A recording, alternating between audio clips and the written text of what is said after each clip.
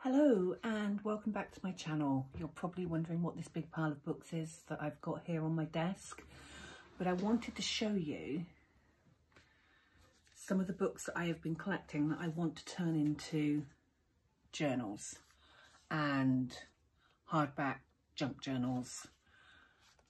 I've got myself quite a selection that I intend to use the cover, use the inside pages, add to them and turn them into mem memory keepers. Um, they're all hardback and I got a lot of them from the World of Books and the rest of them I actually got from the works. Now I've got this one, Tale of Two Cities. I have plans to take this apart expand the spine, use the original pages with all the pictures in them.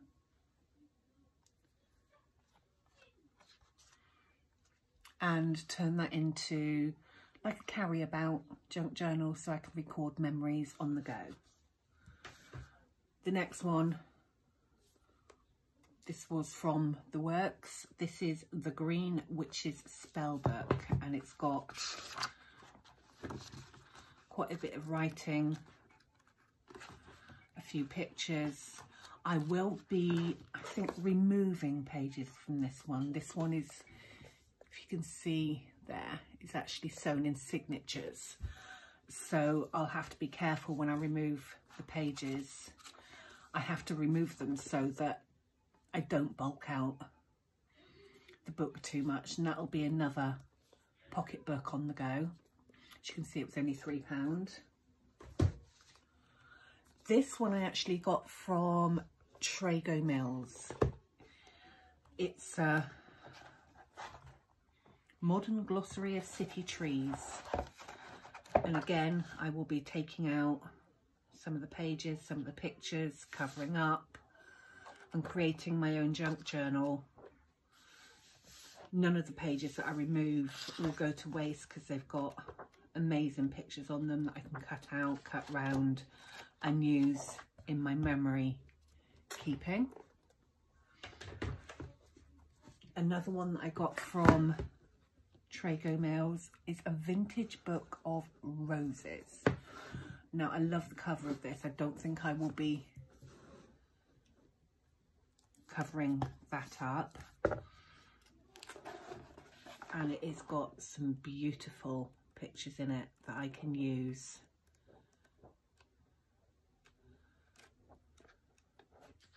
I mean, that's just stunning. But I will be altering this again for another memory keeping book. I'm thinking of setting up a um, Etsy shop because I've got so many ideas for books that I want to create, but I don't know whether I'm going to be able to actually fill them all. So I might set up an Etsy shop and sell some of them once I've created them. Now this one is classic. F. Scott Fitzgerald, The Great Gatsby. And the good thing about this one are all the pages are glued in. So when I remove some of the pages, I don't have to worry about other pages falling out. You're probably wondering why I'm going to take apart a classic book, but that's the purpose I bought it for. Emily Bronte, Wuthering Heights. There is some damage that you can see but it doesn't bother me too much. It actually adds to the character of the cover. I'll be keeping the cover of this one because I think it's beautiful.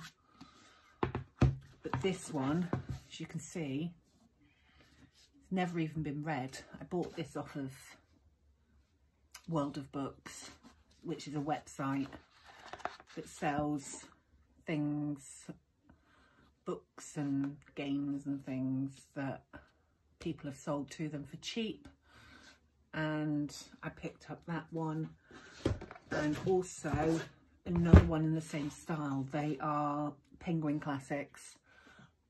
Now this one is Far From the Madding Crowd and it probably sounds a bit weird but I will take delight in taking this apart because it's one that I had to read for um, university and I really didn't enjoy it. So again, this is glued in so I can remove pages. This one is absolutely massive. Another glued in page one, the complete novels of Jane Austen. Now, I bought this for the purpose of turning it into a junk journal, but my husband did suggest that I cut out a square and keep cutting down and hide my chocolate stash in that one. Quite tempted. We'll have to see on that one because it is such a large book. I'm not entirely sure. And the last one is Holidays and Hard Times, another hardback. Got pictures in it. It's not my style of book. See that really upsets me. So that will be either taken out or covered up. But it's got some great pictures that I could take out and use as ephemera. This is something that you don't usually see. Absolutely beautiful histor historical photos.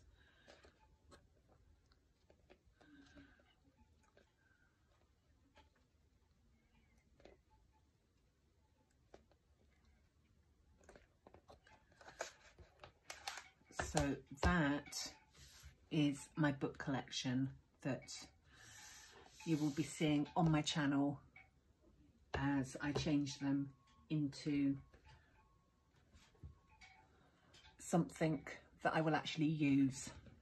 But anyway, I hope you are looking forward to seeing what I create with those. Um, subscribe to keep updated on what I do with those books and whether I sell them or not. Um, give me a thumbs up if you like this video and I will see you next time. Bye.